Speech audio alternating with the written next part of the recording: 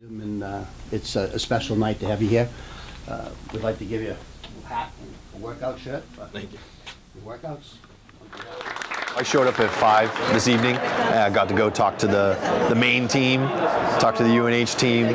I pumped Maine up. In New Hampshire, I pumped down. So no, I told them all play hard. I hope them all the best. And that was cool. They all, you know, sitting around waiting for us to come in and listen to us, and it took it all in. They held a reception for Travis Mills and, and I and, and all veterans, and then came over and joined the game. Got to go on the ice between the first and second periods, and just been enjoying some hockey. Everybody in the, the crowd was clapping, and it was a great experience for everybody to kind of see my story and then understand what Operation Hat Trick is doing for the wounded guys in the community and, and uh, their continued efforts to make our lives better.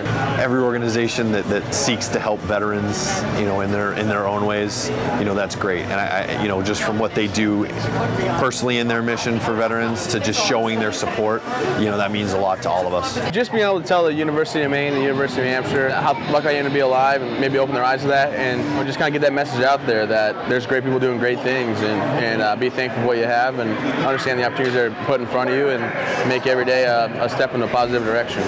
I appreciate the opportunity to be here and my family's had a great time and, and it's really uh, it's been a really great day. So thank you. Go Wildcats!